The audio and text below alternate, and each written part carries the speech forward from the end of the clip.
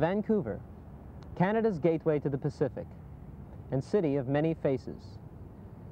In this southwestern corner of British Columbia is gathered a million or so people and a great variety of different incomes and lifestyles. Many of us are fortunate to enjoy the pleasures of living in this city that we affectionately call home. Most, if not all of us, at times find ourselves burdened with hardship. If you are old or handicapped, or for some reason or another in need of social assistance, either monetary or otherwise, you've probably had some contact with the Vancouver Resources Board. There are some 2,500 people involved with the VRB and over 40,000 clients. And to answer one question right off the bat, no, they're not all on welfare. This program is about the VRB and what it really does. It's also about Bill 65, provincial legislation proposed to abolish the Vancouver Resources Board. This special Channel 10 documentary has been prepared with one specific intention, to save the VRB.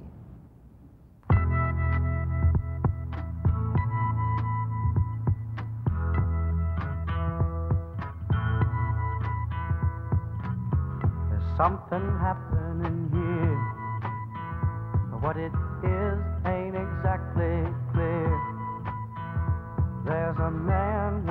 gun over there telling me I got to beware.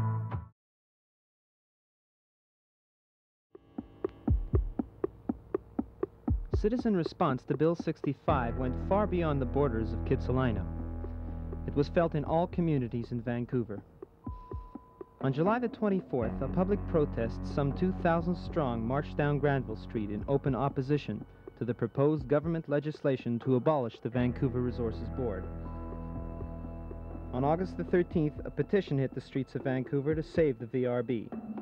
There were 40,000 signatures. Could all these people be wrong?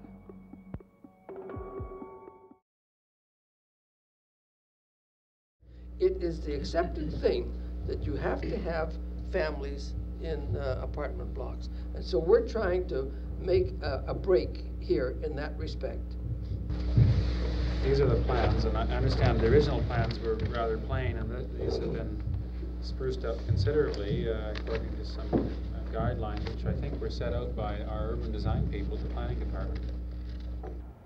What David is talking about is this property on West 2nd. The four houses in the center were purchased with NIP funds and have been made available to Community Alternative Society Co-op at a written down land cost.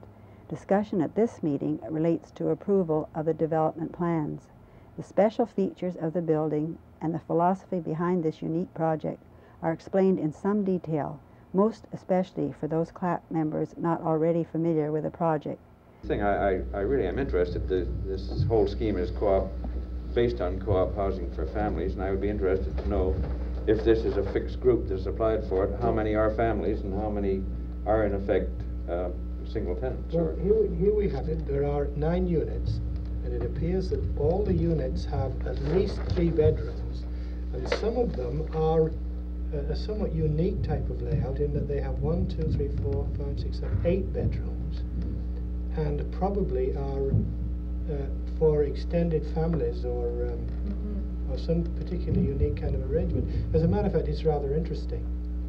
They have got allow architectural allowances here for a lifestyle that probably hasn't been done in Vancouver before. This is a real first. It's yeah, it's, it's a, very unique project. Yeah. It's not, not an ordinary. It's the first purpose-built co-op housing, I believe, that's ever gone up in yeah. Vancouver. Well, and another thing too, I seem to recall the last time we saw the plans.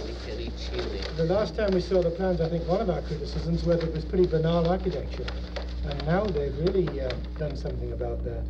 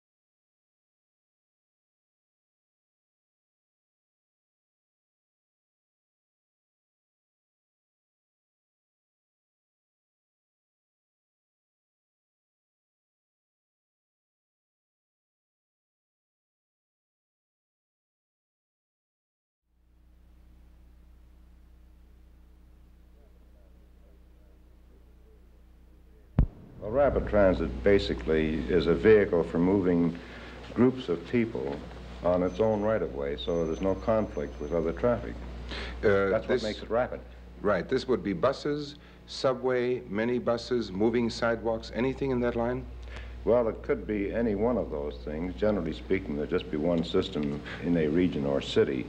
So if we have a rail system on double steel rails, which is the most common form in the world, that's what it would be. It might be partly underground, partly on the surface, or partly on overhead track, but it would still be this same kind of vehicle carried throughout the system. We employed a firm of consultants to make a study. When I say we, the study was paid for jointly by the uh, Regional District Board and BC Hydro representing the provincial government. And the consultants came in with a projection of probable costs and suggestions as to the routes. But they didn't specify the type of vehicle because they said we should keep our options open until the last possible minute to see which, at that point, is considered to be the most efficient, most useful type of vehicle. This is an interview with Dr. Julius Kane from the Department of Animal and Resource Ecology, University of British Columbia. Dr. Kane, I was wondering if you would comment on the um, rapid transit proposals put out by the Greater Vancouver Regional Planning Board. Mostly, be, I can summarize uh, my feelings in the matter very simply by saying I think it's as described in the uh, transit report. I think uh, it's going to be a financial and uh, social disaster for the city of Vancouver if it's implemented the way it's uh, structured as of the uh, present moment. Well, what are the, the faults in the structure now? And what should be done to improve it? Well, basically, the the proposal is somewhat vague about the uh, actual direction that uh, rapid transit should take uh, within the city of Vancouver, but uh, they have outlined a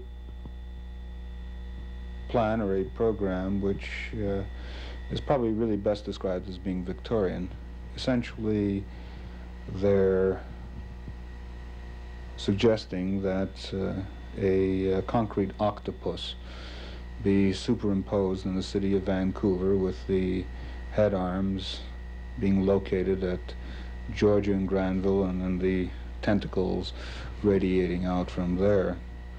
The cover of their report uh, is a very graphic indicator of what they have in mind. You can see that basically it'll be something which will be four roads leading to Georgia and Granville. Now, mind you, I have no quarrel at all with the concept of rapid transportation or with public transportation, but this is a system which is really best described as being radial transportation. Radial in the sense that all of these are spokes leading to a central hub, making the whole area subservient or basically serving one small downtown metropolitan area. There is nothing in the concept to promote regional transportation. For example, if you wanted to get out to UBC, which is somewhere here, there is no transportation network which would serve you. Likewise, if you live somewheres in Richmond and you wanted to go out to Simon Fraser, you'd have to take a train up to this hub, Georgia and Granville, and then take another train out to Burnaby, and thence eventually make your way to Simon Fraser. In other words, this is not area transport. This is transport which is just centered on one particular small region. It would benefit only the particular property owners in this region. And I should point out that in this region, the even without the radial transport, property values have been soaring quite immensely. And it's really hard to see why the planners want to repeat all of the mistakes of Chicago, New York, and all other centers of this type when they could draw upon the experiences of the decay that have been taking place in so many urban regions. Because what really what they're going to do is they're going to contribute towards ultimate decay and the ultimate ruin of everything that makes Vancouver a pleasant or a desirable place to live at the moment.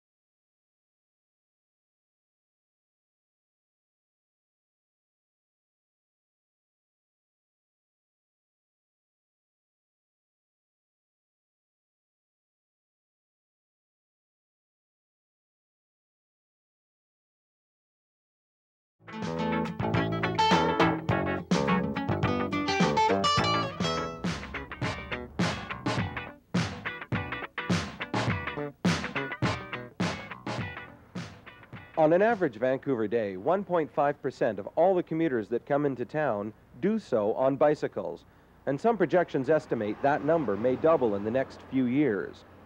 This has left planners and advocates alike scrambling to accommodate the needs of this growing force. One such accommodation is the Vancouver Bicycle Network, a system of roads designed to get commuters from one end of town to another with as little conflict as possible with automobiles. Although the plan is criticized for furthering the belief that cars do not have to share main roads with bikes, it does have its supporters.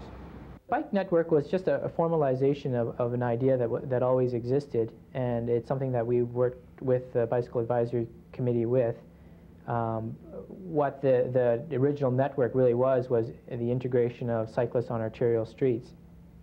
Now, most recently, there has been, uh, uh, uh, I guess, uh, we, we've been finding out from cyclists and hearing from them that they would like to cycle on um, local streets.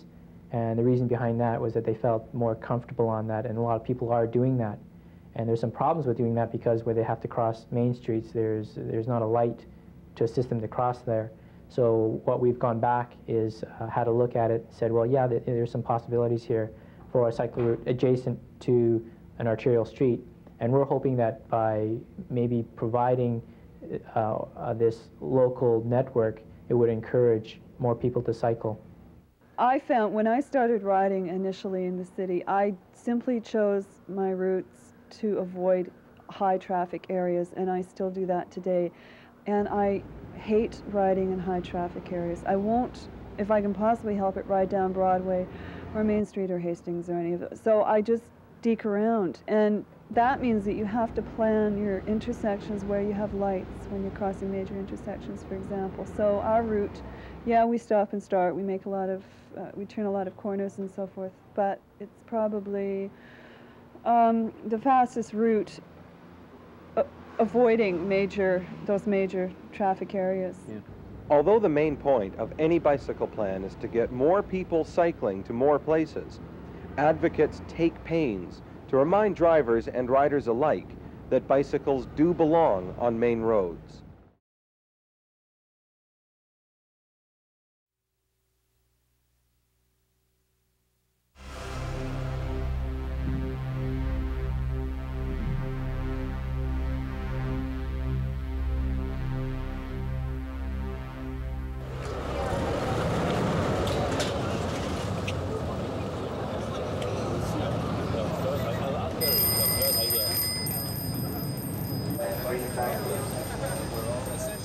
Rally is to have one venue for people and bicycles and pedestrians and uh, roller skates and skateboarders and wheelchair people and uh, trolley buses to get into downtown without having to, to be confronted by the uh, noxious fumes of the automobile, of the in interior combustion engine.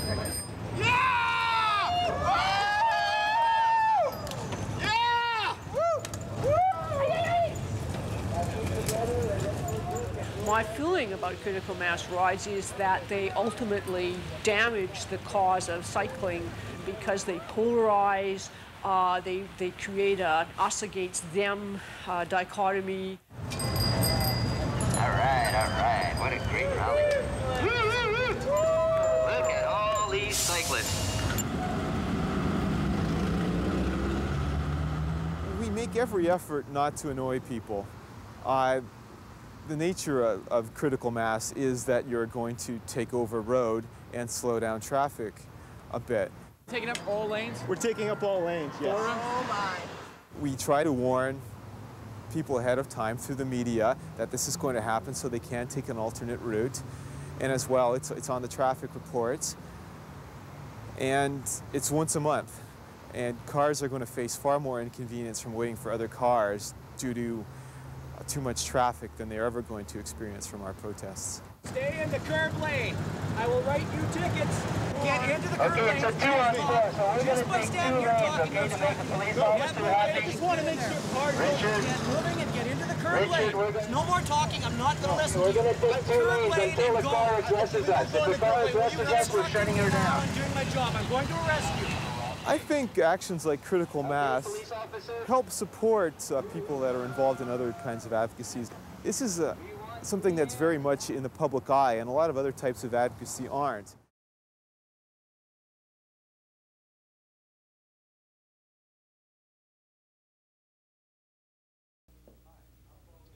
Hi, I'm Bob Lenarduzzi the Whitecaps, and I really love pancakes, especially when they're smothered in Rogers golden syrup. See how slowly it pours? Really thick. That's because Rogers is 100% pure syrup, made from golden sugar cane.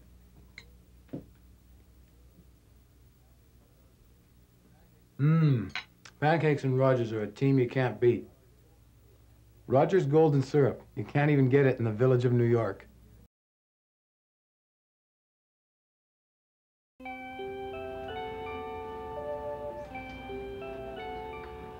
This is the future of British Columbia. Ever wonder what kind of a place we're building for them? I'm Fred Latrimo, and this is what's happening in BC.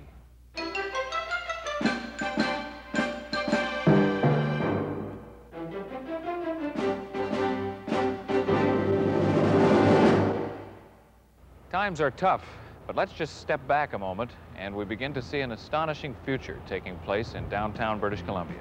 The stadium is state-of-the-art. BC Place is undoubtedly going to be the largest urban renewal project in Canada, possibly in North America, and maybe in the world. We're looking at approximately uh, 12,000 housing units, uh, housing about 20,000 people, about seven or eight million square feet of office space. There'll be parks, there'll be marinas, there'll be waterfront uh, areas, there will be a science center for children. It will be the public heart and gathering place for the people of British Columbia. There, are, of course, are going to always be costs in servicing a site like BC Place, but there'll be benefits as well. And the taxes that we paid by by all of the various uh, ventures that take place at BC Place will be very positive for the city from the point of view of the city's revenues and will more than pay for itself.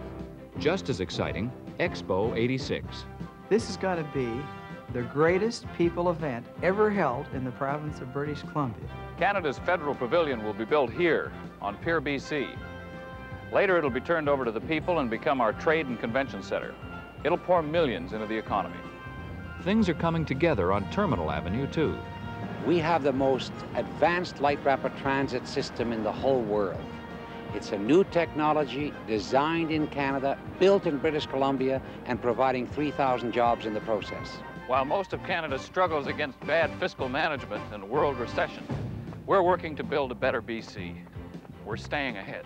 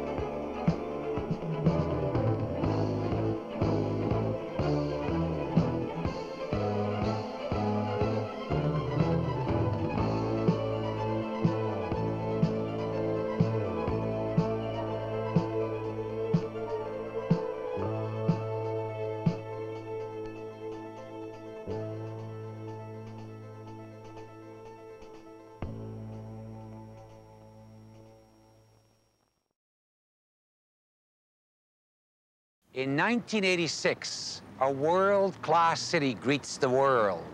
But Vancouver's success will not be measured during the few months of Expo or in buildings left behind. Our success will be in the permanent jobs we create and the lasting impressions we share with our visitors. The Nonpartisan Association will create the economic climate for these jobs and make the most of Expo's opportunities. Vancouver needs Vander Zalm and the Nonpartisan Association.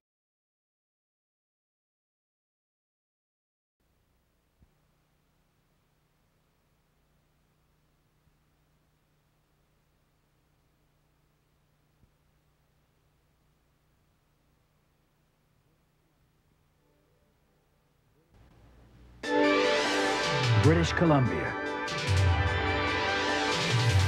Vancouver and Expo 86, a spectacular national celebration where Canada will host the world. Five and a half months of entertainment, culture, and friendly people. Come to the province you've never seen. Come on! Come to a world so spectacular. Join us! Expo 86, Vancouver. Don't miss it for the world.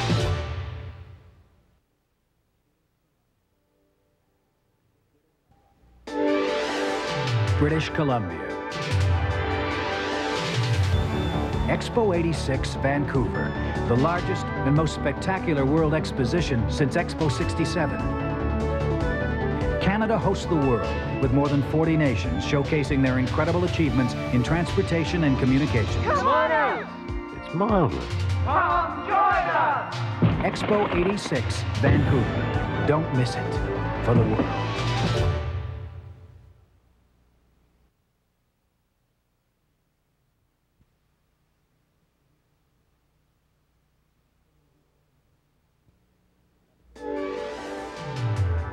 Colombie-Britannique. Expo 86 à Vancouver. Une véritable fête internationale. L'événement le plus prestigieux depuis Expo 67 à Montréal. L'occasion de vivre des vacances incroyables en famille. On vous invite. C'est amusant. Superbe. Expo 86, Vancouver. Venez voir le monde.